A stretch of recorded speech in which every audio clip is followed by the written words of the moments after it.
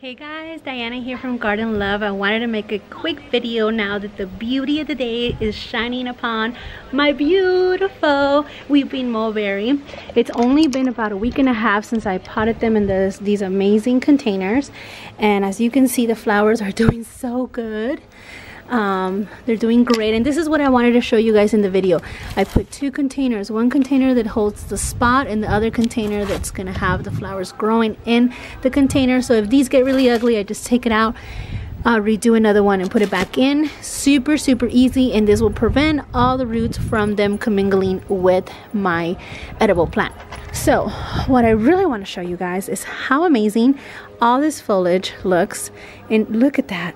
Oh my god guys I am gonna have so many mulberries so I'm so so excited because last year I got this this tree at the end of the year and the other one I got it at the beginning of this year. So I haven't seen any sign and I didn't even get to taste one of these mulberries when I had the tree. It had a lot of foliage but it didn't have any um, fruit on it. By then it was gone. But look at that. How amazing all those mulberries. I mean as there's probably more mulberries than there is leaves as you can see right here. And these just popped out of nowhere like it literally overnight. I came here to see it then one day and all of those mulberries were on there. Oh my god i just wanted to show you guys. And this tree is going to continue to look even more pretty as time goes by because right now it's looking beautiful because obviously there is tons of mulberries coming up. Um, as time goes by we're gonna get more foliage. And as time goes by all of these mulberries are gonna turn purple and they're gonna be looking delicious. So I'm gonna be picking them every single day um, I'm gonna be checking for for ripe ones. So you can see everything's tangled. Oh my god it was so windy here um, the last few days. I literally had my husband come out here with the flashlight to check on these trees because I had just planted them in these containers and I was afraid that they were gonna get pulled out of its root. Um, I may have exaggerated a little bit because the roots were pretty pretty deep. Um, so uh, I was still worried worry about it motorcycle. So I was pretty worried. I'm going to show you the other one really quick so you guys can see how this one's going doing. All of these are pretty tangled, but this one is looking amazing as well, as you guys can see. Now this one doesn't have as much foliage as the other one, but this one gets a little bit less sun than the other one, which is perfectly fine. Once it starts warming up, it's going to just be perfect. Gonna get more sun. But um, for now, this one doesn't get as much sun, but it still looks beautiful. It's still doing what it's supposed to be doing. It still has tons of foliage and tons of uh, mulberries, as you can see right there.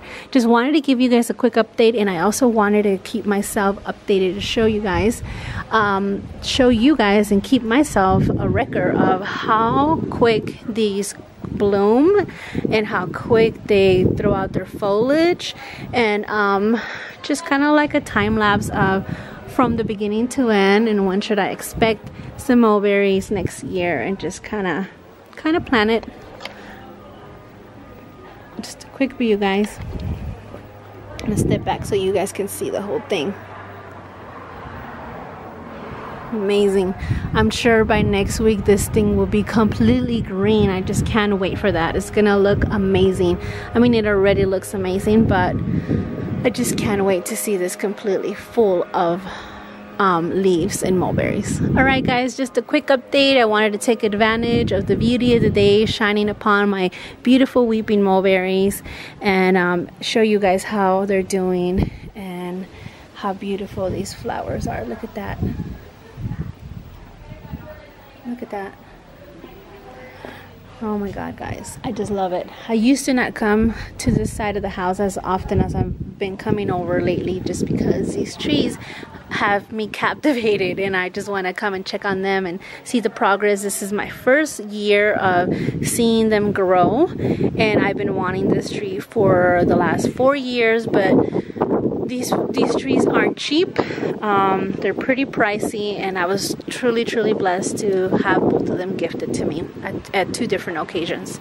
Alright guys I'm truly gonna finish now because I can continue talking for hours about these beautiful trees and um, and yeah but i'm gonna let you guys know let you guys go and i'll see you guys in the next one. Bye. Love you.